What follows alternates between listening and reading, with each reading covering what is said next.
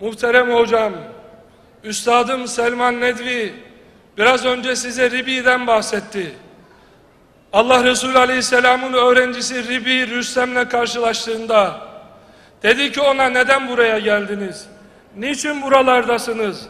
O da innallaha ibta'asena linuhricen nas min ibadetil ibad ila ibadetillahi teala. Allah Teala bizi insanları kullara kulluktan Allah'a kulluğa memur kıldı. Onun için buraya geldim.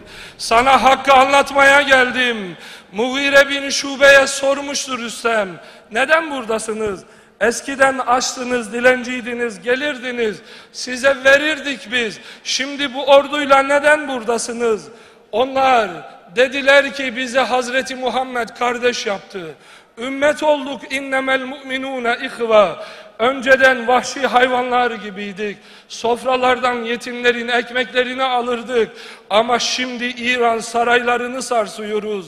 Hazreti Muhammed buyurdu ki sallallahu aleyhi ve sellem La kisra ba'de kisra. Bundan sonra kisra olmayacak, gelmeyecek. Bundan sonra zulüm olmayacak.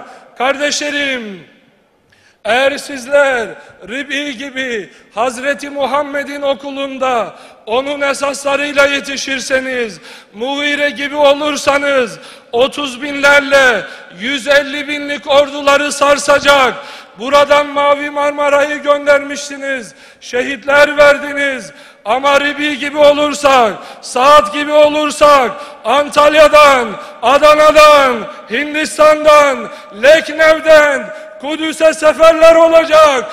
Biz geldik Şimon Perez diyeceğiz Allah'ın inayetiyle.